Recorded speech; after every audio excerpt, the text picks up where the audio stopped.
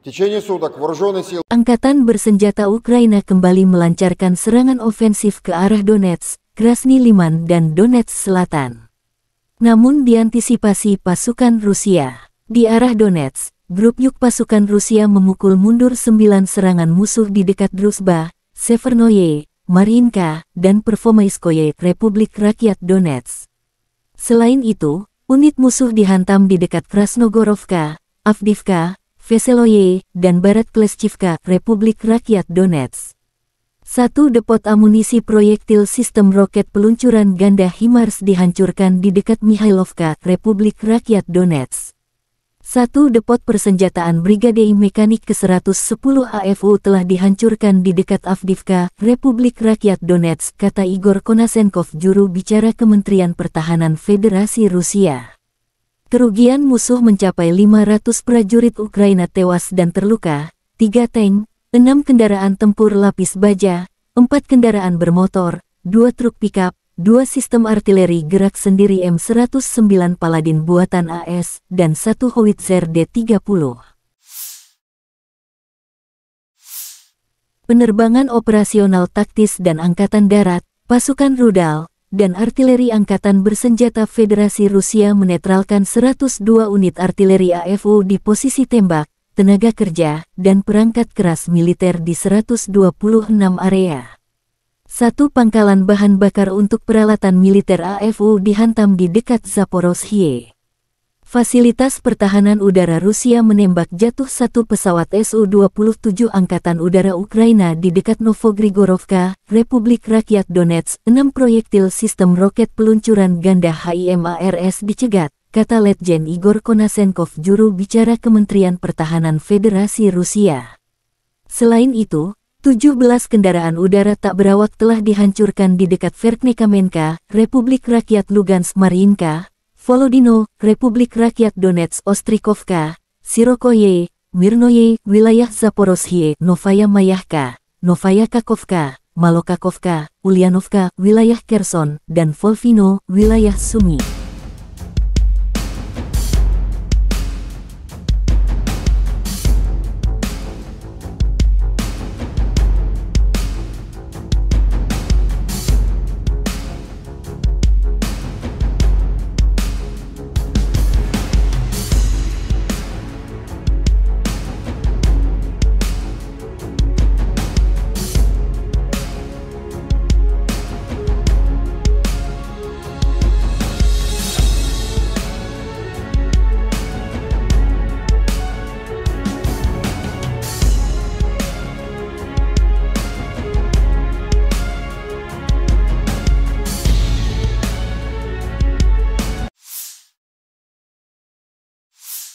Letnan Jenderal Igor Konasenkov, juru bicara Kementerian Pertahanan Federasi Rusia tanggal 8 Juli mengatakan Angkatan Bersenjata Ukraina secara total kehilangan 453 pesawat, 241 helikopter, 4.938 kendaraan udara tak berawak, 426 sistem rudal pertahanan udara, 10.582 tank dan kendaraan tempur lapis baja lainnya juga 1.135 kendaraan tempur yang dilengkapi dengan MLRS, 5.383 meriam dan mortir artileri Medan, serta 11.512 kendaraan bermotor militer khusus dihancurkan selama operasi militer khusus berlangsung.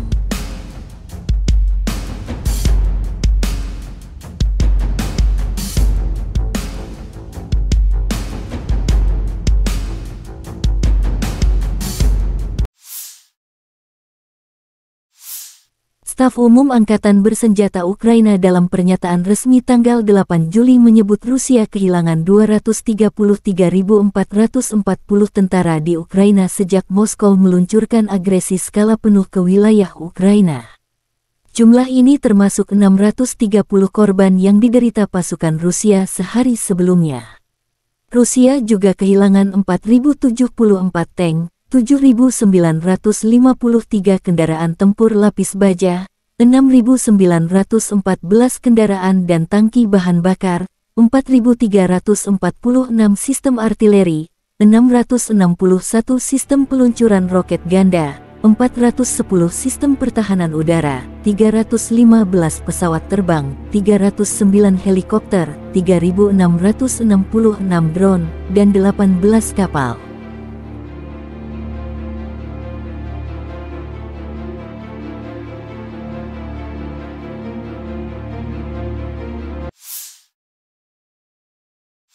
Menteri Pertahanan Rusia Sergei Shoigu mengunjungi lapangan tembak di distrik militer selatan untuk memeriksa pelatihan tempur unit militer yang baru dibentuk, tulis pernyataan resmi Kementerian Pertahanan.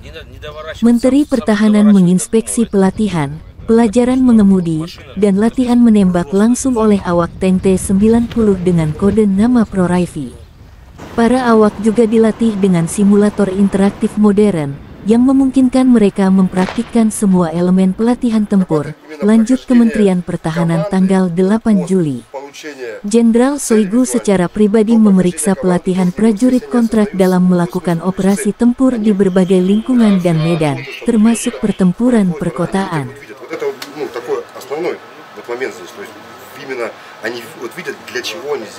проводится эвакуация, отрабатываем вопросы эвакуации.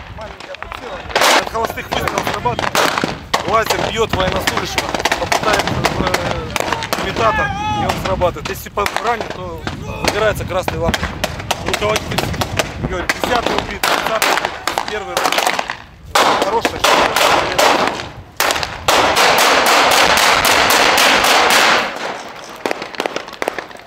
такое РПГ, АГС, стрельба воздушная, ПКМ, СВД. Сейчас здесь отрабатывают упражнения, товарищ министр обороны, прямо перед нами.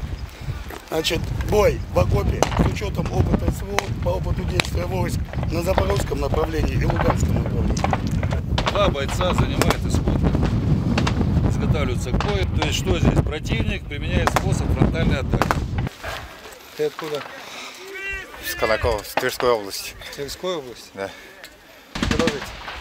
То есть с каждой позиции гранатометчик выполняет упражнения по мишени.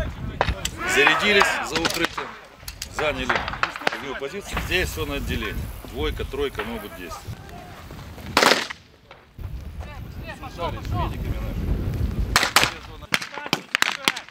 Все одновременно, вот это показали. Пошел, пошел, быстрее! Militer Rusia merilis rekaman penghancuran iring-iringan kendaraan lapis baja Ukraina di arah Bahmut. Pergerakan Ukraina dipantau tim pengintai Batalion ke-58.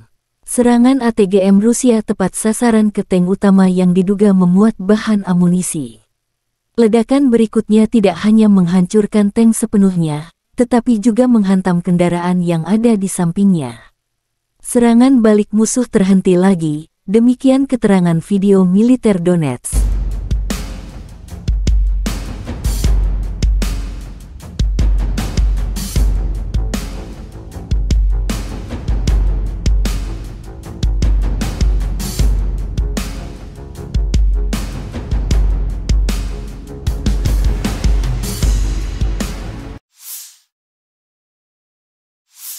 Angkatan bersenjata Ukraina menunjukkan cuplikan prajurit Brigade Infanteri bermotor terpisah ke-59 merebut benteng pertahanan Ukraina di arah Donetsk. Serangan ini bagian dari kanteretek Angkatan bersenjata Ukraina. Setelah serangan drone, unit infanteri menyerang parit musuh. Dalam rekaman, sebagian prajurit Rusia memilih kabur sebagian terperangkap dalam parit.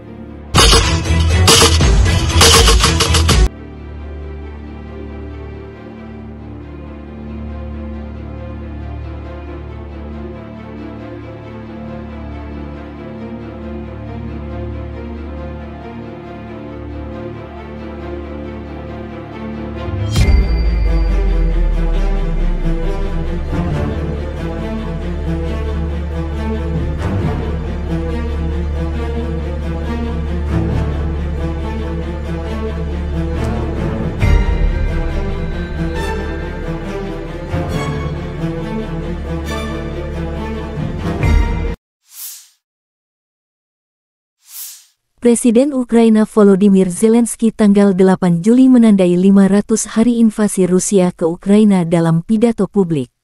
Berbicara dari Pulau Ular, daratan kecil Laut Hitam yang dibombardir kapal perang Rusia pada hari pertama perang, merebut garnisun kecil Ukraina yang menolak menyerah, Zelensky berjanji baik pulau maupun negara tidak akan ditaklukkan oleh penjajah.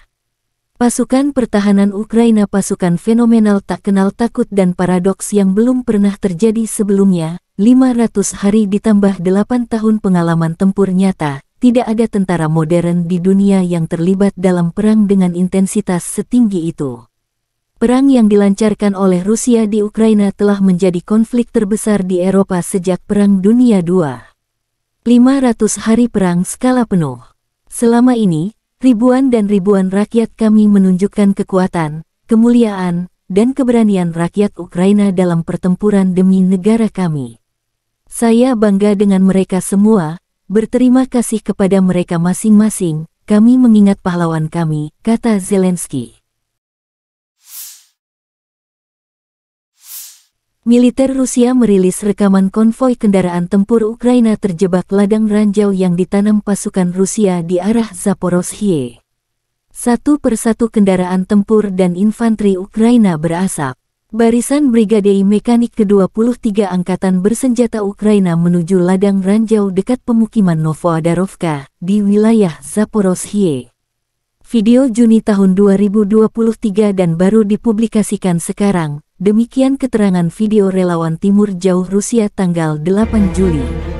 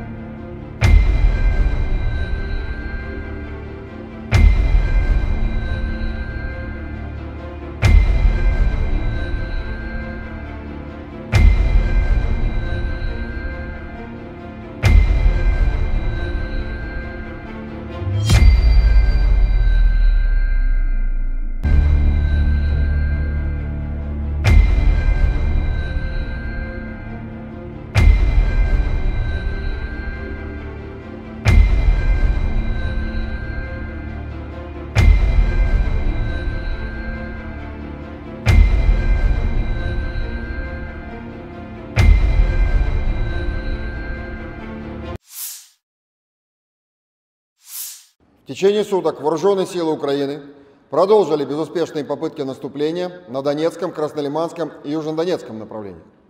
На Донецком направлении умелыми и мужественными действиями обороняющихся подразделений южной группировки войск успешно отражено 9 атак противника в районах населенных пунктов Дружба, Северная, Маринка и Первомайская Донецкой Народной Республики.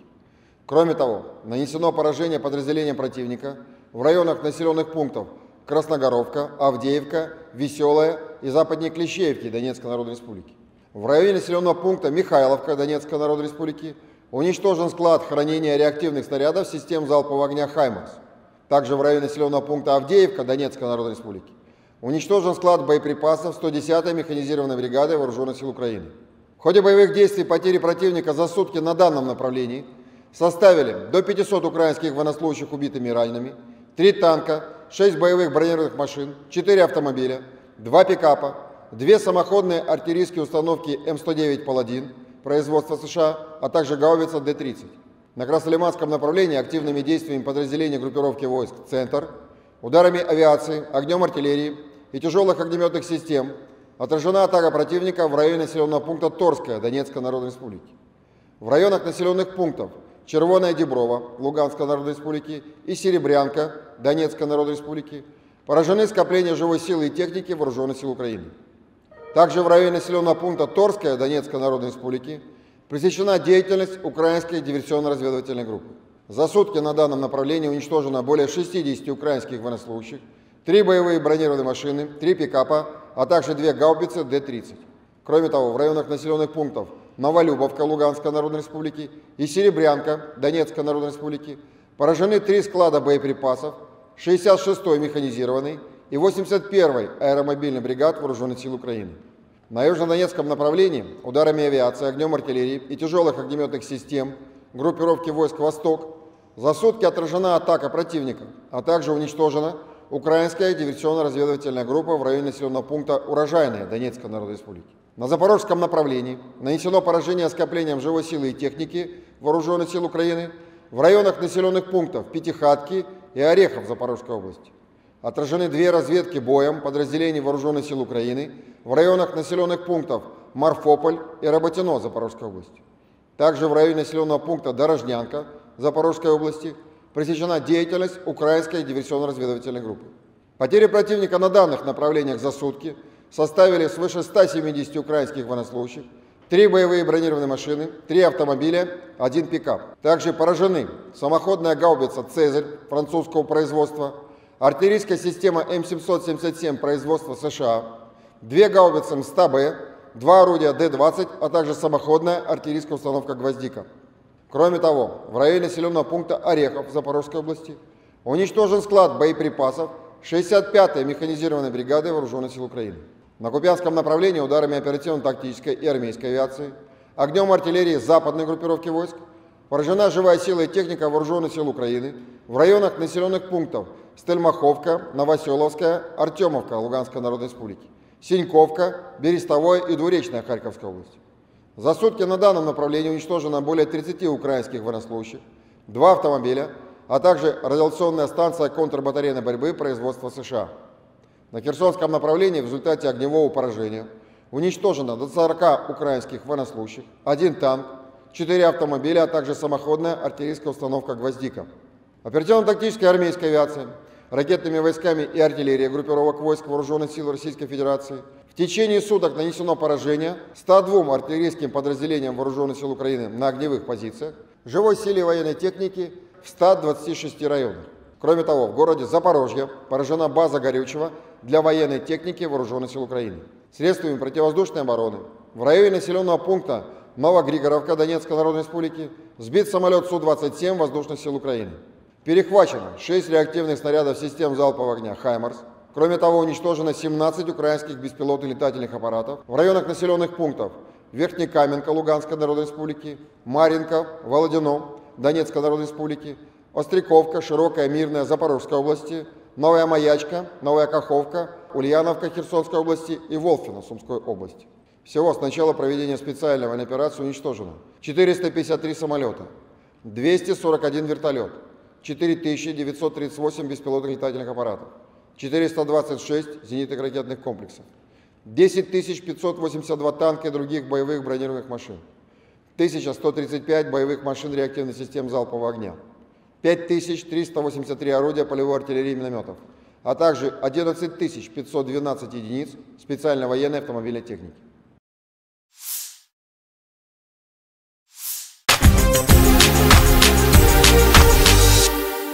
Terima kasih sudah nonton. Jangan lupa like, subscribe, dan share ya.